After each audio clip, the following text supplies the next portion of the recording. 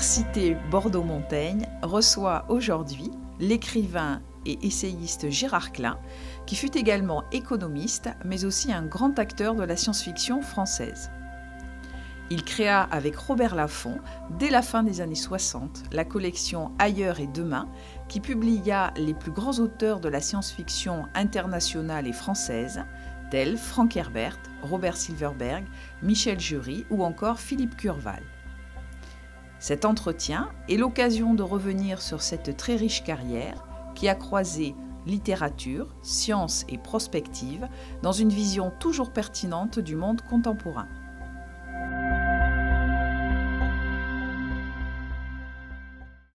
Gérard Klein, que représente aujourd'hui pour vous cet entretien au sein d'une université? J'ai toujours su que je finirais mal. enfin, il y a des endroits pires.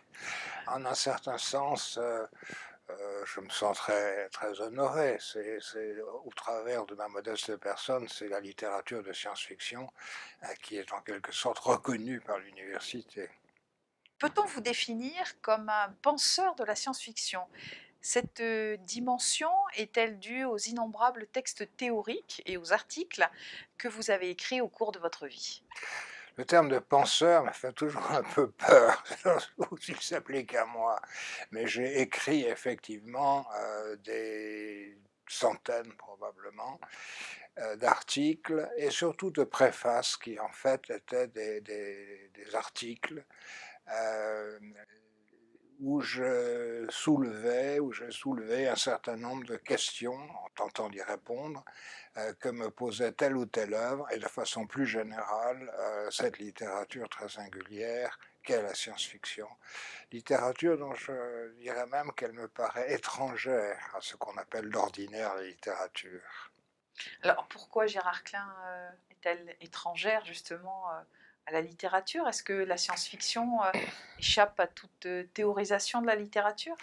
Je ne pense pas qu'elle échappe à toute théorisation de la littérature, puisqu'elle est rédigée avec des mots et avec euh, une syntaxe qui est celle de toute littérature de fiction.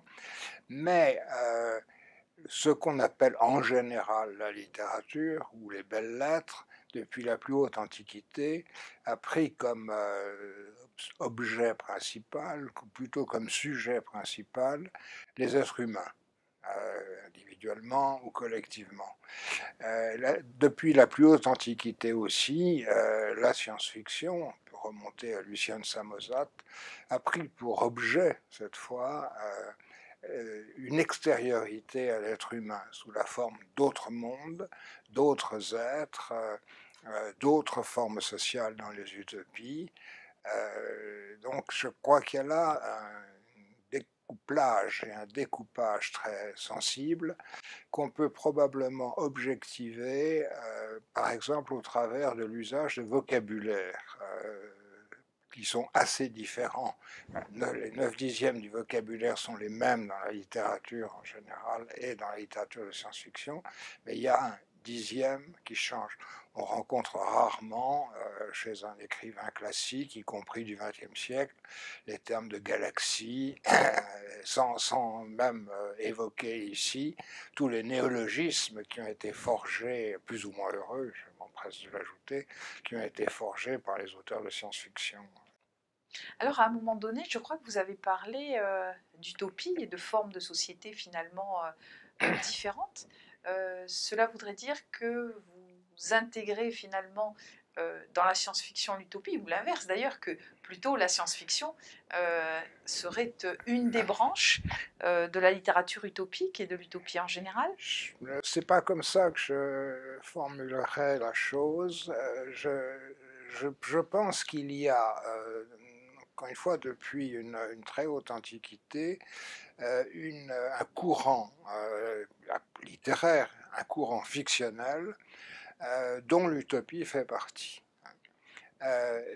et au, à, partir de la fin du 19e siècle, en tout cas de façon certaine au 20e siècle, la science-fiction a absorbé toute l'utopie et l'anti-utopie et la dystopie, qui sont des choses bien distinctes.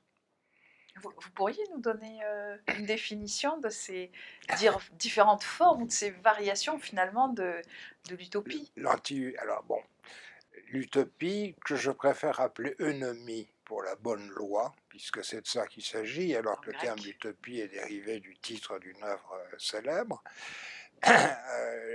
L'utopie donc prétend décrire un, monde social euh, idéal ou tout au moins idéalisé. L'anti-utopie euh, montre qu'un euh, tel monde serait inhumain, enfin proprement invivable. Comme d'ailleurs certaines tentatives de réalisation d'utopie l'ont démontré malheureusement dans la réalité sociale. La dystopie, c'est quelque chose d'assez différent, de tout à fait différent. Ça décrit un avenir dans lequel les choses ont mal tourné, parce que nous n'avons pas fait attention. Par exemple, euh, notre avenir écologique est manifestement dystopique si nous restons, et ça a été très souvent décrit dans la science-fiction, sur la piste où nous sommes à l'heure actuelle. D'accord. Le titre choisi pour cet entretien, Gérard Klein, le grand veilleur de la science-fiction, vous semble-t-il convenir par rapport à ce que vous êtes? Dans le sens grand veilleur, euh, peut-être euh, euh, grand témoin, voilà, quelqu'un qui finalement se situe je dirais, d'une façon circulaire autour de la science-fiction, puisque vous avez été éditeur, vous avez été écrivain, donc vous avez finalement vécu la science-fiction et l'écriture depuis l'intérieur, mais en tant qu'éditeur, finalement, on, est un petit peu extérieur peut-être à la, création, hein, en tant qu'acte créateur. Euh, voilà, donc est-ce que ce, terme-là, semble-t-il... Oui, euh, pourquoi pas. En fait, j'ai commencé euh, par euh, écrire des textes de science-fiction, puisque j'ai publié ma première nouvelle dans la revue Galaxy en octobre 1955. Bon. Ensuite, j'ai publié d'autres nouvelles dans la revue Fiction, et à partir de là, j'ai commencé à écrire des articles critiques ou des articles de fond sur des auteurs pour cette même euh, revue euh, Fiction. Et à peu près en même temps ou au fil des années, euh, j'ai écrit un assez grand nombre de nouvelles et quelques romans dont des romans, disons, semi-alimentaires que j'ai publiés au Fleuve Noir. J'avais publié également un roman euh, euh, dans la collection euh, Le Rayon Fantastique. c'est pas le Gambit des Étoiles? C'est le Gambit des Étoiles. C'est ça, le, Gambit, des, Étoiles. C'est le Gambit des Étoiles. Alors, il s'est trouvé. bon, pendant, ces premières années, d'abord je terminais mes études, études disons d'économiste à Sciences Po. ensuite, je suis parti en Algérie, on aura peut-être l'occasion d'en reparler pour deux ans de, de guerre, une guerre qui a été un peu spéciale en ce qui me concernait. Euh, j'avais euh, surtout euh, des avant, dès 1954, je pense, pris contact avec une librairie spécialisée dans la science-fiction et qui a joué un très grand rôle, qui était la librairie de la Balance. J'avais 17 ans, à peine d'ailleurs, quand j'y suis allé pour la première fois, et où j'ai rencontré toutes sortes de sommités du domaine, dont Francis Carsac d'ailleurs, Pierre Versin, euh, Philippe Curval, euh, et euh, quelqu'un qui m'a énormément appris, qui était Jacques Bergier. Les presses universitaires de Bordeaux ont lancé en 2015 la première collection universitaire consacrée à la science-fiction qui s'appelle donc SF Incognita.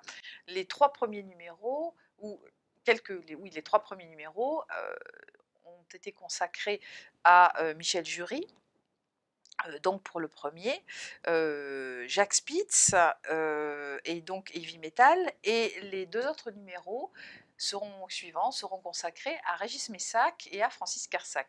Est-ce que vous pourriez, je crois, sur Michel Jury peut-être et Francis Carsac, nous dire quels furent vos rapports avec ces écrivains justement? Bien entendu, bien entendu. Alors commençons par Michel Jury, bien que je l'ai rencontré après Carsac.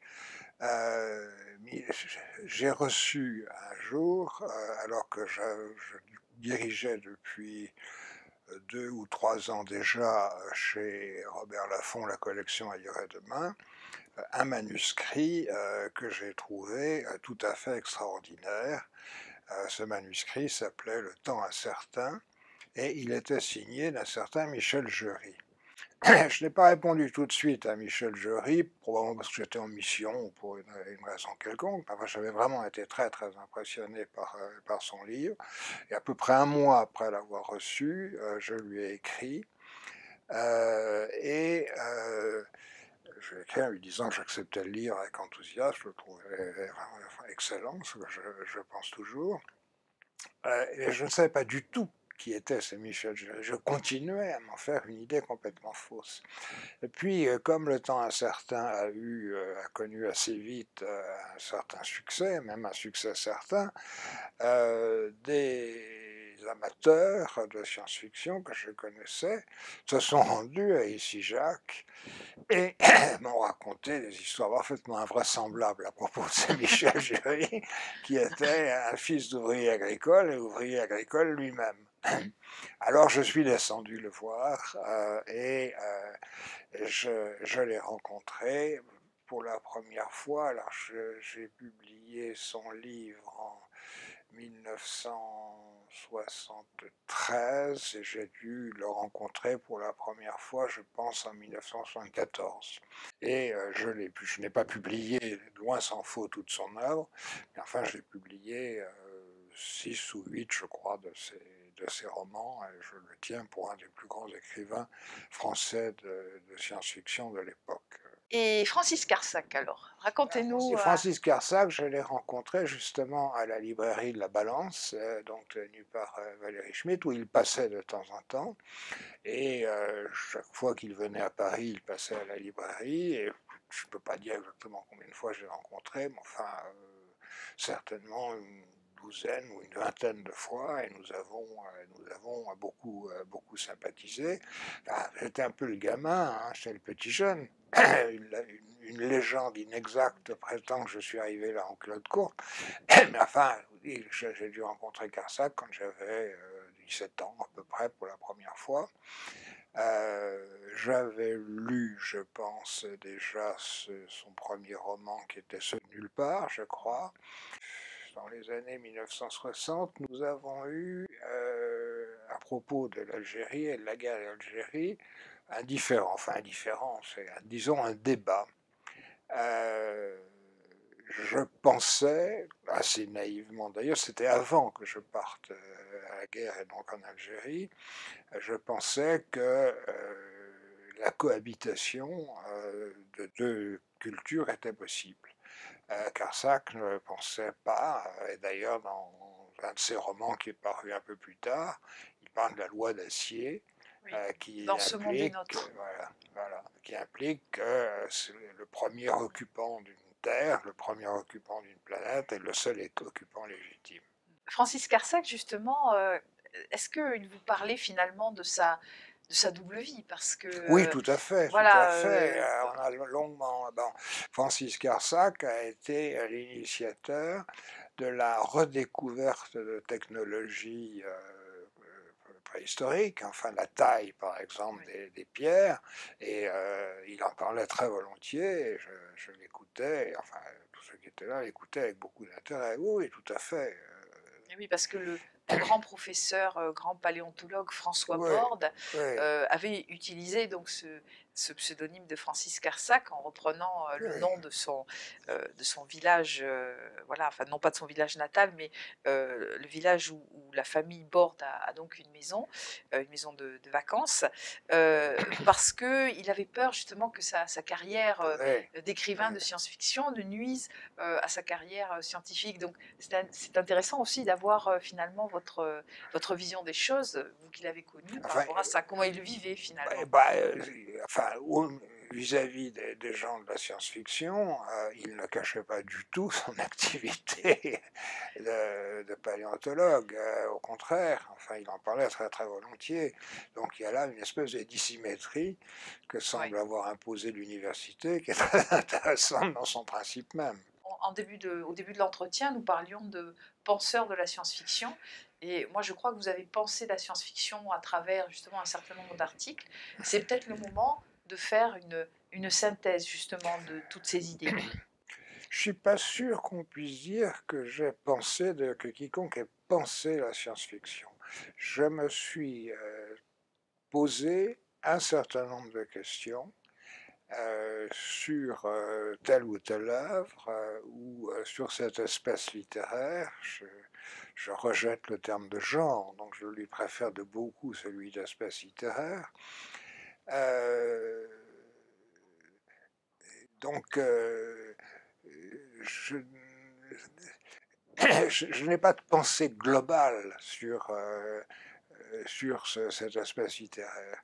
J'ai essayé de, répondre à des questions, et en particulier l'idée à laquelle je suis parvenu petit à petit, c'est cette distinction dont je parlais au départ entre ce qu'on appelle la littérature en général et euh, la la, science-fiction, l'espèce littéraire de la science-fiction. Je pense d'ailleurs que cette, euh, cette question de taxonomie s'étendrait à bien d'autres champs que je connais moins bien, mais qui m'ont parfois intéressé. Je pense par exemple au roman policier, où la littérature fantastique semble s'être dégagée d'un tronc commun de la littérature à des époques historiquement repérables et pour des raisons euh, sociologiquement précises. Le roman policier euh, découle de l'organisation de la police. Hein, ça, on ne connaît pas de roman policier euh, dans l'Antiquité ou médiévale, pourtant que je sache. Mon ignorance est, immense. Donc, je pense que ces questions taxonomiques sont très importantes et euh, que nous disposons ou nous allons disposer euh, d'outils extraordinaires, euh, d'une part parce que les textes peuvent être ou sont numérisés, donc on les explorer, d'autre part il existe des ordinateurs qui permettent, à partir de ces numérisations, de les examiner avec un tout autre point de vue que celui du lecteur, qui est certainement un point de vue subtil et très important, mais qui, par exemple, dès qu'il s'agit de quantifier des vocabulaires, euh, est immédiatement débordé par les événements, enfin par la masse de, documents. Je, pense que euh, l'approche des littératures, des espèces littéraires, devra, euh, dans l'avenir, se faire dans le sens de recherche d'une taxonomie fondée sur des critères spécifiques. J'en ai dégagé, je pense en avoir dégagé sans les avoir euh, jusqu'ici suffisamment explorés, euh, entre 12 et 15 à peu près. Certains sont purement qualitatifs, donc difficiles à, euh, enfin, à objectiver. D'autres sont vraiment quantitatifs et tout à fait objectivables. Et je compte d'ailleurs demander à un de mes amis de Paris, euh, qui est à l'université de Jussieu, Jean-Gabriel Ganassia, qui s'occupe d'intelligence artificielle, s'il ne pourrait pas dans l'avenir mettre un de ses étudiants sur des questions de ce genre. Vous êtes un lecteur de science-fiction depuis votre plus jeune âge, je crois. Euh, pourquoi ce goût particulier? Est-ce que votre entourage familial a joué un rôle dans ce choix initial? Il a. D'abord, j'ai commencé euh, à lire, j'ai appris à lire à 4 ans et demi, donc j'ai commencé à lire très tôt, et euh, j'ai été pratiquement tout de suite un lecteur, pour ainsi dire, boulimique. Donc je lisais tout et n'importe quoi. Euh, quand j'ai eu 7 ans, je crois, euh, ma mère m'a mis entre les mains Le Monde perdu de Conan Doyle. Je ne suis pas sûr que ce soit le premier texte de science-fiction que j'ai lu. J'avais peut-être déjà lu des, romans de Jules Verne, mais euh, je me souviens de cette lecture du Monde perdu, ce qui m'a véritablement été un choc. Euh, mais je n'ai pas lu que ça. D'abord, j'ai lu beaucoup de, littérature classique, et jusqu'à 11 ans à peu près, j'ai lu énormément de littérature policière, de romans policiers. Et puis, euh, sont apparues les revues au début des années 1950 et les collections science-fiction. Et à ce moment-là, euh, j'ai complètement abandonné, ou pratiquement complètement abandonné le policier, pas la littérature générale. Je pense que j'avais acquis et que j'ai continué à acquérir, par exemple, une bonne connaissance de la littérature anglo-saxonne, en particulier américaine. Mais euh, à partir du moment où euh, j'ai lu toute la collection Anticipation et le fleuve noir, même si son niveau littéraire n'était pas extrêmement relevé, j'ai lu euh, toute la collection du Rayon Fantastique, évidemment tout Bradbury, tout Présence du futur, à commencer par les chroniques martiennes de, de, de Ray Bradbury, qui sont je crois, vers 1953 ou 1954. Et euh, à ce moment-là, je, suis devenu euh, extraordinairement accroché euh, à, cette littérature. Mais je l'étais aussi pour une autre raison, c'est que très, très tôt, très jeune, par, par mes lectures, j'étais fasciné par la science, par les questions scientifiques. J'ai toujours regretté d'ailleurs d'avoir fait une carrière plutôt littéraire que, que scientifique. Enfin bon, peut pas absolument euh, tout faire. Et euh, dans la science-fiction, j'ai lu euh, énormément de, revues et d'ouvrages de, vulgarisation quand j'étais très jeune. mon oncle maternel, d'ailleurs, était pharmacien et il avait une collection de sciences et voyages dont il avait peut-être lui-même hérité, d'ailleurs parce qu'elle était plus ancienne, et où beaucoup de, euh, de romans de science-fiction, euh, à, partir des années 1910 à peu près, en tout cas dans l'entre-deux-guerres, euh, ont été publiés. Et donc j'ai donc ces deux, cette passion qui ne s'est jamais démentie pour les questions scientifiques, avec euh, un penchant pour tout ce qui touche à la physique, en particulier à la physique quantique, je pourrais peut-être y revenir.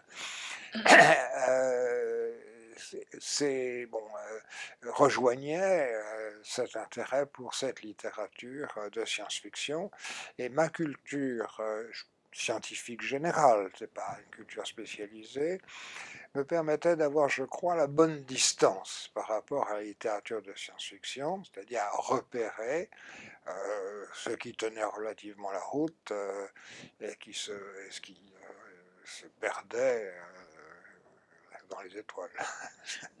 Jolie formule, Gérard. justement, au-delà de cette dimension de lecteur, est-ce que vous pourriez nous expliquer pourquoi finalement la science-fiction euh, a-t-elle été un moteur passionnel dans votre vie? Parce que c'est un petit peu le point commun quand même de euh, finalement peut-être des écrivains, des spécialistes, euh, mais aussi donc des critiques, voire des chercheurs, des universitaires, c'est que la science-fiction n'est pas un objet d'étude comme les autres. Non, parce que je pense que l'intérêt pour la science-fiction demande euh, une forme d'esprit et une forme de culture assez singulière. il se trouve, comme je le disais il y a un instant, euh, j'avais cet intérêt euh, pour les questions scientifiques et de façon générale aussi pour qu'est-ce qui se passerait si. Hein, ce qui avait tendance, même si j'ai lu beaucoup de, romans classiques, enfin de nouvelles euh, classiques, ce qui avait tendance donc à me ramener euh, vers les problématiques exposées dans le domaine de la science-fiction. Je vais prendre un, exemple euh, qui, pourra paraître étrange à certains. dans un, de ses romans les plus, les plus célèbres, Theodore Sturgeon, Cristal qui songe, euh, Sturgeon parle justement de, cristaux euh, intelligents, enfin de cristaux qui pensent et qui euh, ont un effet sur, en particulier un petit garçon, sur les, gens qui les, qui les, environnent, sans que ces gens en aient conscience. Alors on pourrait se dire, c'est une idée fantastique, c'est une idée étrange, c'est une idée insolite, elle n'a aucun rapport avec la science-fiction. C'est pas si simple. Quelques années avant que Sturgeon écrive euh, ce roman, Cristal qui songe, le très grand physicien Erwin Schrödinger, avait publié notamment un livre qui s'appelle Qu'est-ce que la vie? Et euh, où il expose assez longuement l'idée qu'il pourrait y avoir des cristaux vivants. En tout cas, euh, que euh, entre ce qu'on savait à l'époque de la vie et les cristallisations, il y avait des, points de ressemblance. D'ailleurs, ce type de réflexion a conduit aux recherches sur l'ADN, enfin, etc., sur lesquelles je ne m'étendrai pas. Je suis convaincu que Theodor John avait lu Schrödinger. Euh, à ce stade de ma vie, ou plus exactement il y a un an et demi à peu près, connaissant euh, mon intérêt pour les questions scientifiques, en particulier pour la physique, euh, un ami qui a enseigné les mathématiques et la physique à l'école polytechnique, Jean-Pierre Farabeau, m'a proposé d'écrire avec lui euh, un bouquin sur euh, la physique quantique et plus précisément euh, sur les difficultés que certaines idées dans le domaine de la physique quantique, je pense à la non-localité, avaient eu à, trouver leur place, enfin à s'imposer dans le domaine professionnel même, hein, dans leur domaine professionnel même. Alors je suis très étonné de cette demande. Avait beaucoup échangé avant sur, sur les sujets de ce genre avec Farabeau. Il a toujours euh, écrit ses livres en collaboration, mais euh, je ne pouvais pas refuser. ça, un certain sens, ça, euh, ce, livre qui doit paraître en mai chez Odile Jacob boucle, enfin, renoue plus exactement avec les, intérêts de mon enfance et cette carrière scientifique que je n'ai pas faite. Gérard Klein, vous avez fréquenté finalement dès votre adolescence peut-être ce qu'on pourra appeler les, hauts lieux de la science-fiction parisien, et notamment la librairie La Balance. Vous avez rencontré, j'imagine, nombre d'écrivains, d'acteurs de la science-fiction dans cette librairie. Est-ce que vous pourriez euh, évoquer finalement pour nous euh, cette librairie Comment vous avez découvert la librairie euh, Quels sont les personnages qui vous ont peut-être, les rencontres qui vous ont le plus marqué Et ce que la fréquentation d'un tel endroit a pu vous apporter? Alors d'abord, comment j'ai découvert cette librairie? J'ai découvert tout simplement dans une publicité minuscule qui était parue dans la revue Fiction et euh, indiquant que la librairie de la Balance, 6 2 euh, rue des Beaux-Arts, euh, dans le 6e arrondissement, proposait de, la science-fiction. Or, ce n'était pas facile à trouver à l'époque. Hein. Je me souviens d'être allé chercher les rayons fantastiques à la librairie Hachette, au centre même de la librairie Hachette, qui vendait aux libraires, mais qui vendait également au public. Euh, donc, euh, quand j'ai vu cette euh, publicité dans Fiction, bah, la première occasion, je me suis rendu à cet endroit et j'ai été très chaleureusement accueilli, alors par Stéphane Spriel, Michel Pilotin, qui, a joué un rôle considérable dans l'introduction et le développement de la science-fiction, évidemment par Mary Schmidt, par Jacques Bergier, je crois aussi qu'un des tout premiers que j'ai rencontrés, c'était Jacques Sternberg, qui a été euh, l'ami de, toute une vie. Euh, Pierre Versin, qui venait assez régulièrement là, euh, et qui était en train de. qui n'avait pas encore commencé à élaborer son, sa, monumentale encyclopédie. Je suis allé le voir par la suite assez souvent à Lausanne, et puis d'autres endroits où il a habité. Euh, j'ai croisé d'ailleurs également à la balance euh, Michel Butor, qui à mon avis n'a jamais rien compris à la science-fiction, mais ça c'est une autre histoire. Oui. Il a d'ailleurs écrit un euh, article qui a fait beaucoup de mal à la science-fiction. oui, oh, bah, il, plusieurs fois. Il, a, il, a, il y a quelques années, il a réitéré ça dans le monde. Euh, il s'en faisait euh, une idée euh, complètement fausse. À l'époque, Butor, qui était jeune, qui comme sa carrière littéraire commençait tout juste, cherchait la voie à emprunter pour, disons, pour réussir. finalement, il a choisi le nouveau roman, en quelque sorte, pour autant que le nouveau roman roman ait réellement existé. Enfin, c'est un sujet que je laisse aux spécialistes, même si j'ai connu enfin, un bon nombre de ses protagonistes. j'ai rencontré Boris Vian peu de temps avant sa mort. enfin bon, donc eh ben, il y a quelqu'un qui était, ou quelqu'un très intéressant aussi, qui était Jean Porte. Jean Porte était un statisticien, il travaillait à l'INSEE, euh, et euh, j'ai publié d'ailleurs euh, de lui, long moment après, son, est repris dans une anthologie, ou dans plusieurs anthologies, son unique nouvelle, Le grandiose avenir, tu connais, oui, vous connaissez absolument, et euh, qui est tout à fait étonnante. une, machine, une machine à voyager dans le temps, à explorer l'avenir.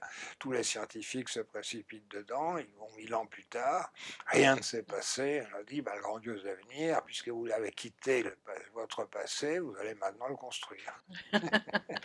J'ai trouvé cette histoire absolument géniale. alors quelqu'un qui a joué un très très grand rôle euh, pour moi, et en particulier dans mon éducation scientifique, ça a été Jacques Bergier. Bergier était un personnage assez euh, étonnant, avec un accent russe coupé au couteau, euh, euh, qu'on lui, lui connaît, ou quand on repasse ces documents qu'on a l'occasion d'entendre. et pour moi, ce qui peut paraître singulier, compte tenu de ce qui lui est arrivé en partie vers la suite, ça a été un grand professeur de scepticisme. Bergier avait été résistant, c'est un scientifique, chimiste de formation, il avait été résistant, il avait été déporté, euh, et euh, il, euh, avait été d'ailleurs très abîmé par la torture et la déportation. mais c'était un conteur extraordinaire. C'était un conteur extraordinaire. Et je l'ai entendu exposer euh, ou démolir d'ailleurs un certain nombre de questions scientifiques avec euh, beaucoup d'intelligence. Euh, enfin, il manifestait donc un scepticisme très très solidement informé et il connaissait, il lisait énormément de, revues scientifiques, donc il avait une culture scientifique très étendue et très profonde. C'est lui qui, m'a, qui a commencé à me parler de la physique quantique précisément. Euh, je pense qu'il n'a jamais exercé, en tout cas après la guerre, de profession euh, proprement scientifique.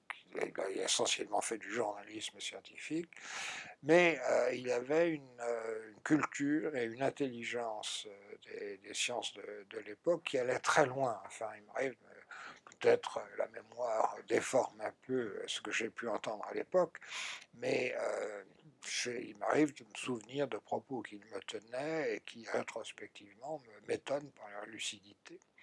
Après son, son drame et son succès matériel, ça a été la rencontre de Louis Powell et l'écriture du, Matin, des, magiciens, que j'ai critiqué assez durement dans Fiction, avec et comme Francis Carsac, euh, François Borne, euh, ce qui fait que mes relations avec Bergier se sont un peu rafraîchies pendant un certain temps. Mais comme à ce moment-là, je suis parti pour deux ans en Algérie, quand je suis rentré, euh, nous avons repris euh, un contact chaleureux et je l'ai revu assez souvent. Enfin, chaque fois que je pouvais, quand j'avais un peu de temps.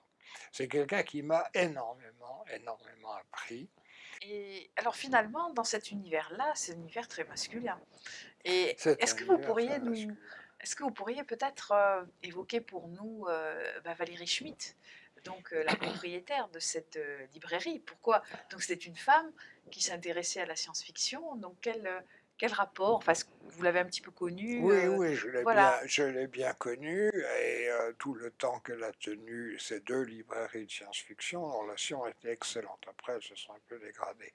Mais Euh, Valérie avait, alors, euh, avant que j'aille à, la, balance, euh, avait, je ne sais pas comment, enfin, elle était littéralement subjuguée par, par la science-fiction. Elle avait rencontré, je pense, Stephen Spriel, enfin Michel Pilotin, ce qui lui a donné l'idée de, de, créer une, une librairie spécialisée, comme il n'en existait pas et elle avait obtenu, à des conditions extraordinairement favorables, une librairie donc rue des Beaux-Arts.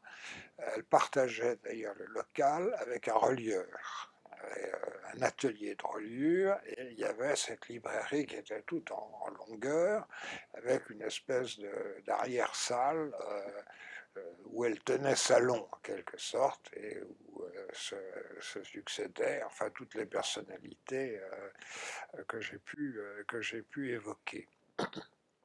Alors, malheureusement, le propriétaire de ce local est mort très jeune d'ailleurs, il a au maximum une cinquantaine d'années, il s'appelait Jean Aubier, est mort d'une crise cardiaque. Et la librairie, Valérie a dû quitter la librairie. Alors, quelques mois ou une année peut-être après, elle a trouvé une librairie minuscule à côté, rue de Seine, qui s'est appelée l'Atome, et où s'est reconstituée en quelque sorte, en une version peut-être un peu réduite du salon qu'elle tenait. Et puis, quand elle, n'a plus, pour une raison que j'ignore, enfin, n'a plus pu tenir l'atome, enfin cette librairie, elle, elle a ouvert une galerie, une galerie rue Mazarine, je crois, et comme je n'appréciais pas trop ce qu'elle exposait, nos relations sont devenues beaucoup moins amicales. D'accord. Enfin, non, il y avait quand même des, des femmes, par exemple, quelqu'un qui a joué un rôle important dans l'introduction de la science-fiction américaine en France, c'était France Roche, mmh qui était une journaliste, une, une, fort jolie personne par ailleurs. C'était entre autres, elle était l'amie de, Pierre Cast, le, cinéaste, et euh, elle, faisait, elle a fait partie du jury euh, qui donnait le prix Jules Verne. Alors, Roche euh, avait introduit avec peut-être Cast ou Pilotin dans une revue, un hebdomadaire très grand public, un peu du style tabloïd euh, par le contenu, pas par le format, euh, des nouvelles de science-fiction euh, au début des années 50. Nouvelles science-fiction américaines début des années 50. C'était Pilotin, Spriel, et elle avait ses entrées comme journaliste là, si bien qu'ils avaient introduit pendant une quinzaine de semaines, chaque semaine paraissait un texte de science-fiction. et je me souviens que j'allais acheter religieusement cette, cette, publication, euh, par ailleurs totalement dénuée d'intérêt, et qui, ce, qui, scandalisait ma mère. Elle ne comprenait absolument pas pourquoi euh, j'achetais France Dimanche. Alors après ces, rencontres finalement euh, à la, donc dans la librairie euh, La Balance, euh, beaucoup plus tard, vous avez fondé et développé la collection, la mythique collection Ailleurs et Demain chez Robert Laffont et publié en français les plus grands auteurs internationaux. J'en cite quelques-uns comme Robert Silverberg, Norman Spinrad, Frank Herbert, Ursula Le Guin, Robert Heinlein, Philippe Cadic, John Brunner, mais aussi bien sûr chez les Français, Michel Jury, Stéphane Vull, Philippe Curval ou encore Emmanuel Chouane. Est-ce que vous pourriez évoquer pour nous euh, ces rencontres, peut-être tant physiques que littéraires? Alors, peut-être commencer par euh, euh, nous raconter comment est-ce que finalement vous avez, euh, euh, enfin, comment est-ce que vous êtes rentré en contact avec Robert Laffont, que vous connaissiez euh, sans doute, et puis comment vous lui avez proposé cette collection, quelles ont été ses réactions, et puis après finalement, quelle a été la méthode que vous avez utilisée pour contacter ces grands écrivains? Non, je ne connaissais pas du tout Robert Laffont. je ne connaissais pas du tout Robert Laffont et je dirais que, comme il est arrivé très souvent dans ma vie, cette ces affaires a été une, question d'opportunité. En fait, euh, en 1963, quand je suis rentré d'Algérie, j'ai reçu un jour un coup de téléphone de, Jean-Pierre Mocky, le cinéaste, me proposant d'écrire avec lui une adaptation de La Cité de l'indicible peur de Jean Ray bien que j'étais déjà débordé par toutes sortes d'activités, euh, je ne pouvais pas refuser une telle offre. Si bien que pendant plusieurs mois, euh, je suis allé travailler avec euh, Jean-Pierre Mocky restés par la suite en un excellent rapport, même si nous avons décidé ensuite de ne plus travailler ensemble, parce que Moki considérait que j'étais un perfectionniste, et que je considérais qu'il était un bâcleur. Mais enfin, on est resté dans très très très bons termes amicaux. Enfin, on s'était très bien entendu. Euh, même si le film, ça ne paraît pas être un des chefs-d'œuvre du cinéma, mais enfin, certains l'apprécient, tant mieux. Euh, même si le film n'est pas, absolument génial, je suis très très content d'avoir fait cette expérience. Alors, il se trouve que des années après, en 1900, fin 1968 ou début 1969, je vais déjeuner comme tous les lundis, euh, au déjeuner du lundi, qui se tenait à l'époque au restaurant euh, Trois Canettes, euh, rue des Canettes, euh, à côté de la place Saint-Sulpice. Or, euh, à deux tables de là, je vois mon ami Moki, qui déjeunait avec quelqu'un, je devais savoir qui c'était, mais que je ne connaissais pas du tout, qui était Robert Laffont. Je vais dire bonjour à Moki, Moki me présente à Lafont, et il dit à Robert Laffont, vous devriez travailler avec ce gars-là, il est sérieux. Alors Lafont m'a dit, viens me voir. Or, euh, depuis des années, pratiquement depuis mon retour d'Algérie, depuis 1963, j'avais euh, essayé de convaincre tous les éditeurs parisiens que je pouvais atteindre de créer une collection de science-fiction euh, littéraire, enfin, bon, et en grand format du futur était passé au format poche et le contenu aussi des choix s'était quelque peu détérioré, même si, même si Robert Cantas m'a publié. Donc, euh, euh, je, je, vais voir, euh, je prends rendez-vous, je vais voir Robert. Ah oui, donc j'avais fait ce j'avais, j'avais envoyé tout un dossier très très bien fait, d'ailleurs, y compris aux éditions Lafont, à peu près deux ans avant que je rencontre Robert. Et ils avaient refusé.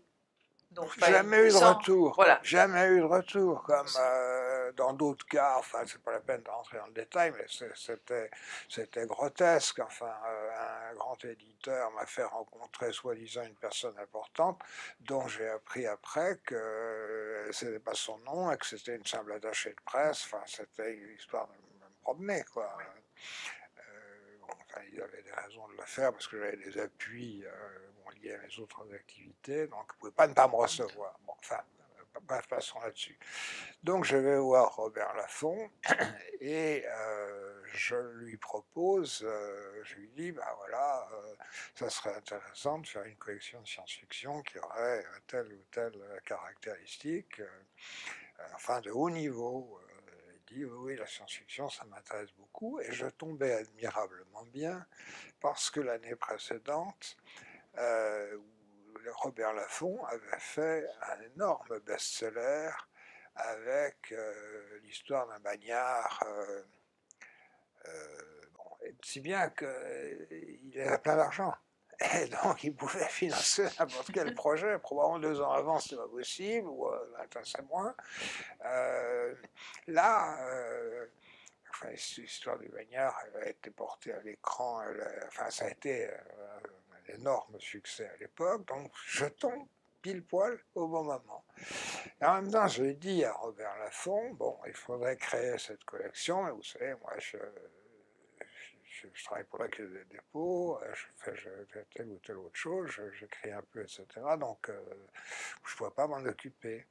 Et à ce moment-là, la fond m'a dit ah, non, non, ou vous le faites, il ne me connaissait pas, hein, c'est après ou vous le faites ou je ne fais pas. D'accord. puisqu'il faut aller euh, au Turf, on va y aller. Et donc, euh, j'ai euh, commencé à apprendre le métier d'éditeur. Je n'étais pas complètement innocent en la matière, puisque, avec Jacques Guamard, on n'a pas parlé, on avait commencé à faire dans les années 60 la grande anthologie de la science-fiction qui ne devait paraître d'ailleurs beaucoup plus tard. Enfin, en soi, c'est déjà toute une épopée. Mais enfin, donc, je, connaissais un tout petit peu le, les techniques. vraiment, je connaissais pratiquement rien euh, à, l'édition. Euh, simplement, j'avais une idée assez précise de ce que je voulais pour les textes et euh, pour la présentation il se trouvait qu'il y avait une collection de disques euh, qui, était, qui passait chez Philips, qui s'appelait Prospective 2000, quelque chose d'approchant, qui était une collection de musique euh, contemporaine, enfin de musique classique contemporaine, et euh, dont les pochettes étaient c'est du papier, aluminisé, enfin c'était de l'aluminium collé sur le carton. Et j'ai dit, bah, c'est ça qu'il nous faut comme comme, couverture. Pas d'illustration. Euh, L'illustration, science-fiction, toujours poser des problèmes douloureux, c'est le moins qu'on puisse dire. Et donc là, c'était le, truc. Évidemment, on m'a dit que c'était impossible, parce que ça allait se casser. Ça, bon. Fort heureusement, euh,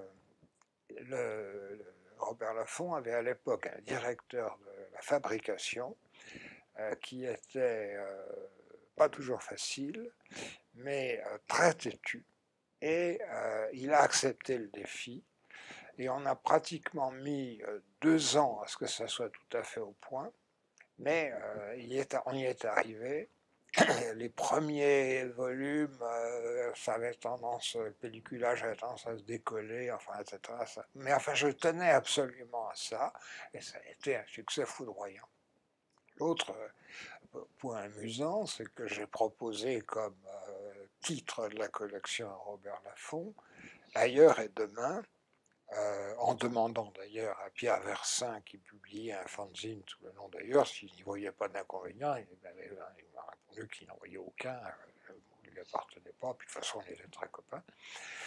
Et alors chez le fond, on me dit non, demain ça ne veut rien dire.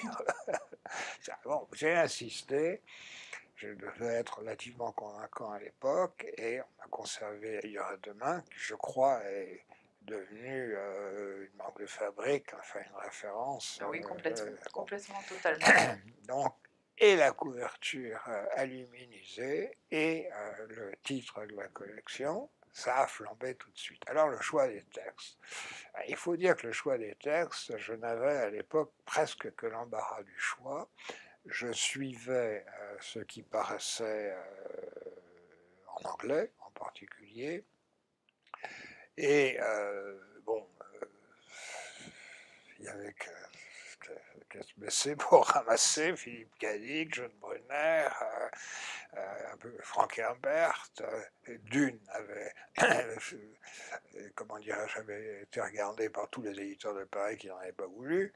Incroyable. Bon, ouais, non, bon, Donc, euh, et euh, c'était projet que Opta, qui était le principal éditeur spécialisé en la matière à l'époque, euh, n'osait pas faire. Enfin, c'était trop gros, c'était trop audacieux, c'était bon. Bref, donc moi j'ai raflé tout ce que je pouvais, aussi bien que ça a démarré sur les chapeaux de roue. Alors comment est-ce que je choisissais les textes? Je n'ai pas de. C'est une question qu'on m'a souvent posée, jusque dans les milieux financiers. Euh, une question qu'on m'a très souvent posée. en réalité, je, choisissais les textes qui me plaisaient. C'était le seul critère. Hein, C'était le seul critère. Alors maintenant, savoir plaît, ce qui ne me plaît pas, c'est un autre Mais à partir du moment où un texte me plaisait, je partais du principe qu'il pourrait plaire à d'autres lecteurs et je, le publiais. J'ai publié comme ça des, textes extraordinaires qui ont fait des, bides au moins relatifs. et enfin, j'en Bon, Dune a été de très loin le plus grand succès. Dans l'édition de chez Lafon, ça a largement dépassé les 100 000 exemplaires. Et avec les éditions de poche, je crois qu'on est bien au-delà du million. Gérard Klein, vous avez publié de grands auteurs internationaux comme euh, Robert Silverberg, Norman Spinrad, Frank Herbert, Robert Heinlein, Philippe Cadic, John Brunner, mais aussi pour les Français, Michel Jury, Stéphane Vull, Philippe Curval ou encore Emmanuel Jouanne. Est-ce que vous pourriez évoquer pour nous ces rencontres qui furent, je crois, tant physiques que littéraires? Alors, surtout, ce qui a été impressionnant pour moi quand je suis devenu directeur de collection, euh, c'est que j'avais lu un certain nombre de ces auteurs quand j'étais jeune. Je pense à John Brunner, je pense euh, à Robert Sheckley euh, et, euh, bon, à bien d'autres. Herbert avait été peu publié, donc je pense pas que je... J'avais lu d'une en anglais avant de diriger la collection, et c'est pour ça que j'ai pris ce livre dès que, dès que Robert Laffont m'a donné le feu vert pour cette collection. Mais ce qui est impressionnant, c'est donc quand on a lu ces auteurs, c'est euh, donc euh, bon, quand j'ai commencé cette collection, j'étais encore jeune, euh, c'est de les rencontrer. s'apercevoir qu'ils existent véritablement et qui sont pas tellement plus âgés que vous et, qu'ils deviennent des amis, qu'ils deviennent des, des, vrais amis avec qui on a des échanges très profonds. Alors, euh, dans le cas de Brunner, euh, ça a été un peu particulier parce que euh, je crois, avant même que je dirige la collection, non, j'avais déjà la collection. En 1970 ou 71, donc je commençais tout juste la collection. Je suis allé à Londres, où j'avais des, problèmes assez délicats à résoudre. Et euh, j'ai rencontré pour la première fois euh, John Brunner, qui euh, avait organisé, il habitait à ce moment-là à Hampstead, dans une banlieue chic de Londres, où il avait une très belle maison. il avait organisé une, petite soirée pour moi, où j'ai rencontré très probablement Brian Aldiss. je ne sais même plus si c'était Brian Aldiss ou l'autre grand si, écrivain de, science-fiction anglais.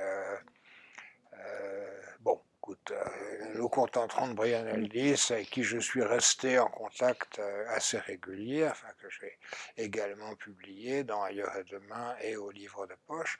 Donc c'est très étonnant d'avoir lu des, auteurs qui vous paraissent des êtres lointains, appartenant presque aux sphères des divinités, et puis de les voir devenir des, des amis. Alors, un de mes problèmes que je n'ai jamais eu avec John Brunner, c'était la langue, parce que Brunner parlait parfaitement le français, presque sans accent même, euh, en revanche, euh, avec la, plupart des autres, euh, j'avais un problème puisque j'ai appris l'anglais seul quand j'avais une vingtaine d'années. Je n'ai jamais fait d'études d'anglais.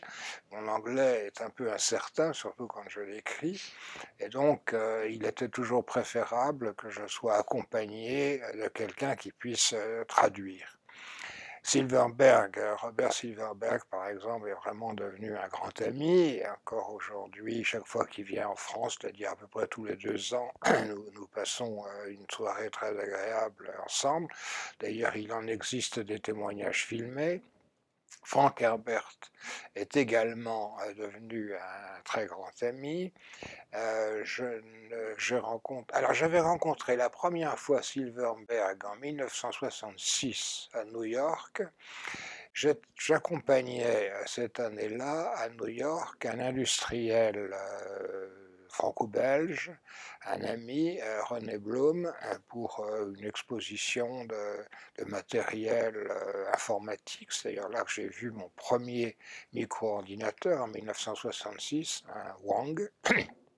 Et euh, quelqu'un enfin, m'avait donné un numéro de téléphone, si bien que Judith Merrill avait, dans un bel appartement, organisé une soirée spécialement pour moi, ce qui a beaucoup impressionné mon ami industriel, où euh, tout ce que New York comptait d'auteurs, euh, de grands amateurs de science-fiction, était présent. Enfin, il y avait au moins 20 ou 30 ou 40 personnes. Euh, c'est là que j'ai rencontré pour la première fois Robert Silverberg, je crois bien Damon Night, enfin, c'était l'appartement de James Blish, mais euh, malheureusement, James Blish travaillait à Washington, si bien que je ne, il est mort euh, quelques années après du cancer, si bien que je ne l'ai jamais rencontré. Donc, 1966, c'est une première étape. Mais je ne suis pas du tout encore euh, éditeur. en 1967, j'ai 30 ans. En 1969, Robert Laffont me confie donc cette collection. je rafle tout ce que je peux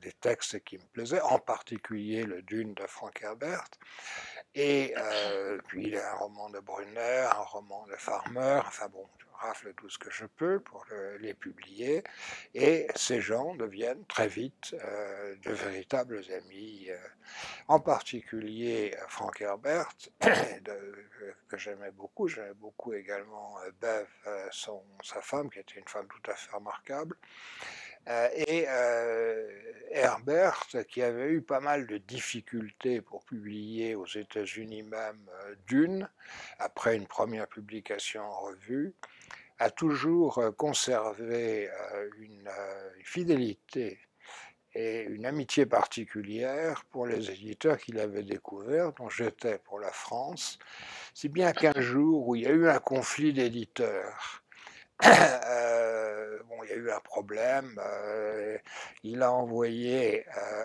un simple télégramme à son agent, c'était l'agence Lanclude, si je me souviens bien, à Paris. Do as Klein says. ah, c'est formidable. C'est formidable. Hein. Dans la dernière édition au livre de poche de votre roman Les Seigneurs de la guerre, votre préface est autobiographique. Vous évoquez in fine les différentes carrières que nous venons de voir que vous avez menées de front.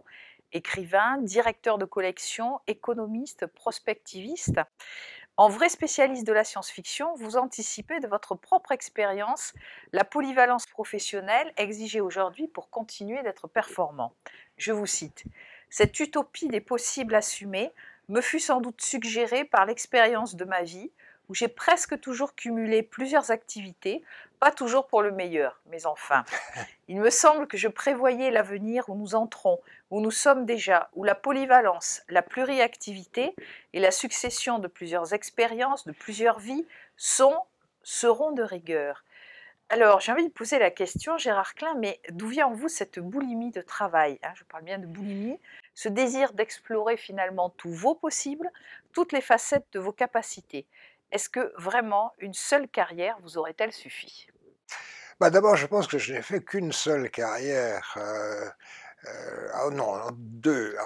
disons que mon activité d'économiste, comme celle, euh, je crois, de tout économiste qui se respecte, a quand même été largement euh, imprégnée de l'idée de l'avenir. Donc le passage des travaux que j'ai fait sur l'épargne, par exemple, sur l'épargne des ménages en économie, à la prospective, s'est fait je ne dirais pas insensiblement, mais puisqu'on me l'a demandé, euh, comme je, le disais. Donc, disons qu'il y a eu d'un côté une carrière euh, d'écrivain, en partie euh, incomplète, et d'autre part une carrière de socio-économiste, avec quelque chose de commun à ces deux carrières, justement l'intérêt, la, passion de l'avenir. Hein. C'est la, science-fiction ne prévoit pas l'avenir, encore que ça lui arrive par accident, mais euh, elle s'y intéresse. Euh, et en tant que socio-économiste, disons,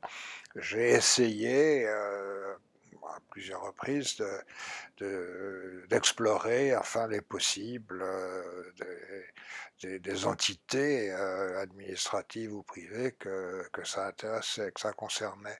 Donc pour moi, ça a été une continuité, une série de demandes euh, parfois assez inattendu, et comme malheureusement je ne sais pas dire non, que je n'ai aucune boulimie de travail euh, et que je suis très paresseux, euh, mon incapacité à, refuser de telle ou telle activité m'a conduit à faire des choses un peu, un peu variées. Toujours dans cette préface euh, inédite hein, des Seigneurs de la guerre, vous revenez assez longuement sur la guerre d'Algérie. L'analyse que vous faites est pertinente et lucide, mais Qu'en est-il de votre expérience personnelle? Parce que je sais que euh, l'Algérie, c'est peut-être quelque chose dont vous n'avez pas beaucoup parlé. Euh, et si vous avez toujours finalement été euh, incapable d'écrire quoi que ce soit et de lire pendant longtemps sur cette guerre, c'est vous qui le dites, hein, depuis votre séjour là-bas, comme on disait en 1961 et 62, malgré une fois une aimable sollicitation de Jean Lacouture, pourriez-vous nous en parler un peu? Oui, alors j'ai fait une, euh, guerre d'Algérie euh, un peu spéciale, comme le reste de mon existence, euh, parce que d'abord quand j'avais 17 ou 18 ans, dans l'espoir de faire de l'aviation, d'apprendre à voler, j'ai fait une préparation militaire dans l'armée de l'air. Ce qui fait que quand j'ai été longtemps après incorporé, enfin 23 ans, je me suis retrouvé dans l'armée de l'air, ce qui était déjà un avantage euh, assez euh, considérable. D'autre part, je ne devais pas aller en Algérie, je devais aller au service de recherche euh, de Fontainebleau, de l'armée de l'air, plus spécialement dans le domaine de la psychologie. Euh, mais enfin, à la suite d'une embrouille, euh, j'ai été expédié, euh, j'ai été expédié en Algérie et je me suis retrouvé donc dans un service de sélection psychologique de l'état-major R à Alger. On m'a dit qu'est-ce que vous faites ici? J'ai dit qu'à cela tienne, je repars aussi sec. Il, me dit si vous étiez officier, ce serait possible, mais comme vous êtes homme de troupe, on est obligé de vous garder. Et ça s'est plutôt bien passé. Enfin, il faut quand même voir que j'arrive en Algérie au début de l'année 1961 et que les négociations de paix d'ailleurs sont très avancées et elles ont pour conséquence le putsch des colonels et des généraux d'avril 1961. Là, on a quand même eu pendant quatre jours très peur, c'est le moins qu'on puisse dire. Et alors, je, me suis toujours arrangé pour circuler très librement, et euh, j'ai circulé très librement dans Alger euh, à cette époque-là. J'ai vu de très près les, unités euh, de rebelles et, et, les unités de gendarmes qui était prête à en découdre. Enfin, heureusement, grâce au général Schall, d'ailleurs, ça s'est euh, ça s'est bien terminé. Il n'y a pas eu de dégâts. Mais enfin, ça a été une période déjà très impressionnante. En même temps, comme euh, bon, je faisais donc euh, passer des tests psychotechniques aux appelés. Donc, ça m'a conduit à voyager pas mal sur le territoire algérien les choses que beaucoup de gens ignorent, les, musulmans, hein, les jeunes musulmans algériens, les jeunes algériens, étaient également appelés. je faisais passer ces tests dans des conditions parfois un peu étranges à ces jeunes musulmans qui allaient, qui allaient être intégrés. Je suis convaincu, bien que je n'ai pas de chiffres précis, qu'il y a eu beaucoup plus de musulmans algériens, enfin d'Algériens, disons plus simplement, qui ont servi dans l'armée française, qu'il n'y en a jamais eu dans le FLN. Euh, Alors, euh, après le patch, euh, on a replié tout le monde euh, sur un immense camp euh, fortifié, euh, la Regaïa, non pas du tout pour nous protéger les, FLN, mais pour éviter toute tentative et tentation de, de putsch.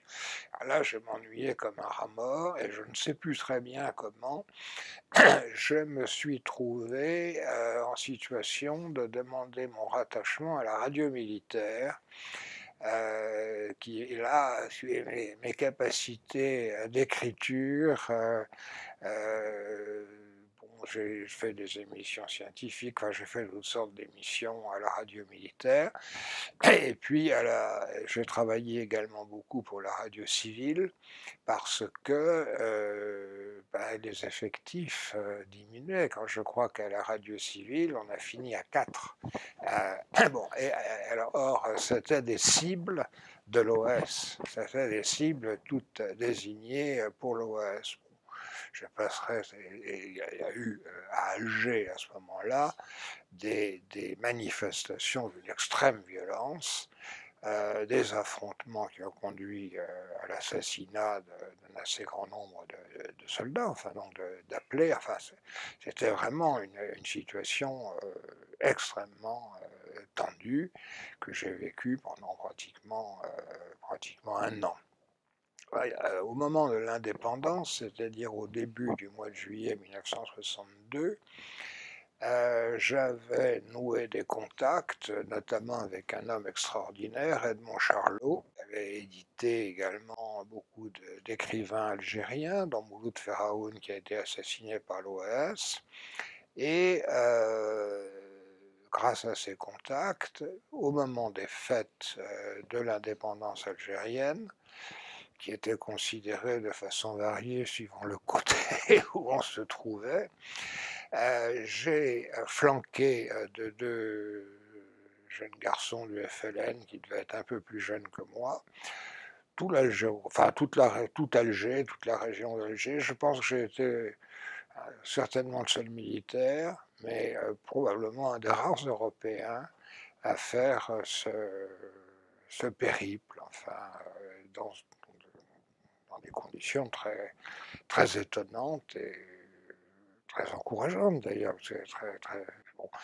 Alors j'ai écrit euh, là-dessus un texte de 30 ou 40 pages euh, que j'ai envoyé à la couture qui m'a fait venir qui m'a dit non, ça je ne vois pas comment on pourrait le publier, mais vous devriez écrire euh, un livre sur votre expérience avec Gad al-Sharif, je vais raconter un peu tout ça plus en détail.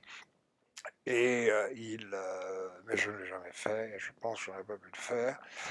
Alors c'est, encore une fois, je ne peux pas dire, euh, je, n'ai jamais été sur un, enfin si j'ai été sur des pitons, mais en tant qu'observateur en quelque sorte. Bon, il faut, il faut dire aussi que mes capacités variées conduisaient à être assez proche, disons, des milieux du, renseignement. Bah, qu'est-ce qu'on peut dire de l'avenir? Toujours la même question dans des situations de ce genre. et puis donc la, presse, la radio, enfin, etc. Euh, mais dans des atmosphères euh, extrêmement, enfin, on n'imagine pas la violence. De, de l'OS dans toutes les grandes villes d'Algérie, en particulier Alger, mais également Oran. Et c'est cette violence qui a déclenché euh, l'émigration euh, forcée qui n'était pas du tout évidente ou certaine des pieds noirs, enfin des Européens, euh, dans des conditions assez épouvantables, il faut bien le dire. Il m'est arrivé dans accompagner, euh, profitant de mes petits privilèges, un certain nombre euh, à l'aéroport ou au port, euh, dans des conditions épouvantables. Sans l'OS, qu'est-ce que serait devenu l'Algérie? Des hommes comme Edmond Charlot, justement, pensaient une cohabitation apaisée possible. Francis Carsac n'y croyait pas. Et nous avons d'ailleurs eu un débat euh, qui a peut-être trouvé un prolongement dans les pages de fiction euh, sur, euh, sur ce sujet. Donc, j'ai pas mal voyagé dans ce pays, j'ai fait des choses un peu étonnantes. et je n'ai pas tellement envie d'en dire plus. Bien, mais j'ai rencontré, rencontré des gens exceptionnels, des gens remarquables, dans une atmosphère de folie. Mais ce sera, c'est déjà bien d'avoir euh, raconté ça parce qu'il y a beaucoup de jeunes gens qui ont vécu cette guerre d'Algérie, qui, ne, qui sont revenus traumatisés et qui, bah, qui n'ont pas pu, euh, qui n'ont pas pu raconter. Donc euh, c'est une première, voilà. Non, mais il y a, y a un aspect. Je vais quand même ajouter quelque chose, dont un aspect que j'évoque dans cette préface, c'est que on a quand même toute une génération de jeunes gens ont passé deux ans, enfin parfois plus, souvent un peu moins, mais enfin là-bas, dans des conditions qui étaient généralement pas idylliques. et quand on est rentré, on nous a demandé de faire comme si rien n'était, enfin comme si rien ne s'était passé. Ce qui on n'attendait pas la reconnaissance de la nation, même si on a reçu les années après un titre de reconnaissance de la nation. Mais, mais c'est ce silence, c'est comme si on avait quand même pris deux ans, qui n'étaient pas exactement deux années de vacances, et euh, voulez rien savoir, ça n'existait plus. Ça. les, pieds noirs, de la même manière, n'ont été absolument pas accueillis, ni, euh, euh, ils ont plutôt été euh, mal reçus, il, faut, dire. Alors que les responsabilités de cette guerre sont nombreuses et variées. Mais, c'est. Enfin, c'est en 1961, donc après le patch d'avril, que, qu'ont commencé les activités de l'OS avec des explosions partout, des, assassinats partout. J'ai vu des gens, euh, des, Algériens assassinés devant moi, enfin une balle de, revolver. Euh, donc c'était assez spécial. Merci Gérard pour ce témoignage, dans tous les cas. Alors nous allons terminer sur euh, une question qui va je dirais, qui à la fois euh, fait référence au passé et en même temps évidemment à l'avenir, cet avenir que, qui vous a euh, finalement euh, tant intéressé dans toutes vos activités. Donc la science-fiction fut le cœur de votre vie d'homme. Si vraiment c'était à refaire, quel conseil donneriez-vous au jeune Gérard Klein se lançant dans l'écriture de sa première nouvelle? Et finalement, la science-fiction était-ce vraiment ce chemin escarpé que vous évoquiez très récemment Je lui donnerais le conseil que m'avait donné Michel Pilotin alias Stephen Spriel écrit autre chose que de la science-fiction. Ce chemin escarpé, euh, oui et non. Euh, non, dans la mesure où il était votre expression, hein, facile. Il était relativement facile de publier dès qu'on écrivait quelque chose de, convenable. Euh, mais escarpé dans la mesure où on ne pouvait absolument pas en vivre, même si on faisait un gros succès. J'ai fait quelques gros succès, espérer en vivre un jour. Donc, j'aurais mieux fait, comme un certain nombre de mes contemporains, euh, de, d'écrire mes émois sentimentaux. Mais enfin, euh, quel conseil euh, Fréquenter des hommes de science? Fréquenter des hommes de science. Moi, j'ai beaucoup appris à leur contact. Le premier dont j'ai parlé, ça a été Jacques Bergier, ou Carsac dans un autre domaine, où j'emporte encore, enfin, et puis par la suite bien, bien d'autres, fréquenter des hommes de science, et je regrette que la plupart des auteurs de science-fiction français, d'abord aient une culture scientifique très limitée, qui conduit à écrire parfois des énormités, et d'autre part, précisément, ne cherchent guère à se rapprocher de ce milieu. Alors des, hommes de science comme Roland Lehoucq, euh, par exemple, euh, euh, font vraiment ce qu'ils peuvent pour et réussissent d'ailleurs à, établir des contacts entre ces deux univers, mais la science-fiction française reste un univers très littéraire, et malheureusement, à mon avis, n'a pas suffisamment d'imprégnation je pense qu'on peut attraper la science comme un virus, les gens euh, des, gens qui, le, euh, qui utilisent. Moi, j'étais euh, très très content de, rencontrer des, scientifiques. et très récemment, d'ailleurs, l'année dernière à, Nantes, j'ai évoqué, je ne sais plus exactement dans quelles conditions, un très grand, un des plus grands mathématiciens du, XXe siècle, Grothendieck, euh, qui est évidemment peu connu du grand public, et à la suite de quoi euh, Thibaut Damour, qui est un des très grands physiciens français actuels, qui doit avoir une vingtaine d'années de moins que moi, est venu me, voir pour me féliciter. Et on a, euh, bon, engagé une conversation, enfin on a établi quelques contacts qui nous ont d'ailleurs été utiles à Farabo et à moi pour euh, l'achèvement de notre livre. Bon. Merci Gérard Klein pour... Il y a euh, une chose que je regrette, c'est euh, d'être venu probablement trop tôt dans mon siècle parce que je suis profondément convaincu que dans les 20 à 50 années qui viennent, et plutôt les 20 à 30 années qui viennent, la, vie humaine sera considérablement allongée. Or, euh, pour faire euh, ce que j'aurais envie de faire, même si je ne peux pas le détailler là, j'aurais besoin de 30 à 50 ans supplémentaires, ce que je ne suis pas absolument certain que mon âge me permette d'espérer.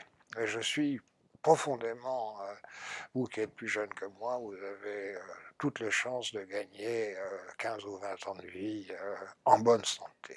Et probablement même en meilleure santé. mais j'aimerais bien avoir un petit peu plus de vie, enfin de bonne vie et en bonne santé pour mener ces projets, ça c'est vrai, mais dans tous les cas, euh, Gérard, nous vous remercions de, pour cet entretien et puis pour euh, toutes ces réflexions qui, qui montrent, euh, enfin je sais que pour euh, beaucoup de personnes, vous êtes euh, un petit peu l'honnête homme de la SF, dans le sens vraiment euh, classique et, très, comment dire, et très valorisant du terme. Et je crois que l'entretien que nous avons mené prouve justement à quel point vous êtes ce, un petit peu ce, touche-à-tout entre littérature et, euh, science, science-fiction. Bon, c'est peut-être pas le terme touche-à-tout, mais au moins, non, honnête homme, ça me semble, honnête homme de la science-fiction. Oui, ça me semble, ça me semble bien. Voilà. Donc, euh, merci Gérard.